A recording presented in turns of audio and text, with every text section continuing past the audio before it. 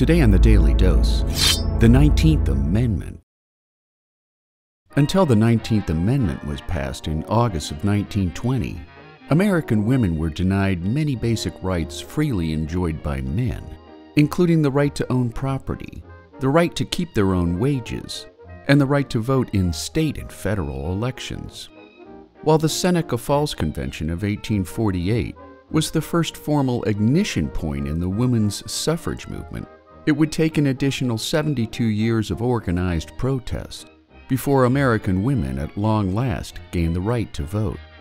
Organized by Elizabeth Cady Stanton and Lucretia Mott, the Seneca Falls Convention was attended by 300 men and women, including former African American slave and activist Frederick Douglass, who would support the women's suffrage movement until a rift developed after the passage of the 15th Amendment in 1870 which gave black men the right to vote while continuing to block women from the ballot box.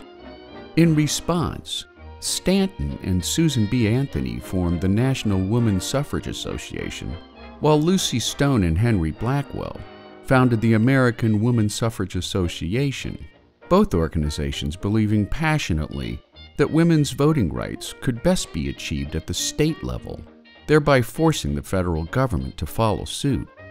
Wyoming would be the first state to grant voting rights to women in 1869, followed by Colorado, Utah, and Idaho.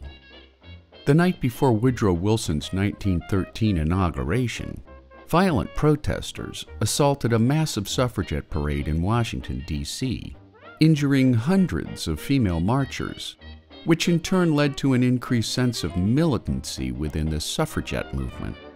That same year, Alice Paul formed the Congressional Union for Women's Suffrage, later renamed the National Woman's Party, leading to numerous protests in front of the White House, which frequently resulted in arrests and jail time.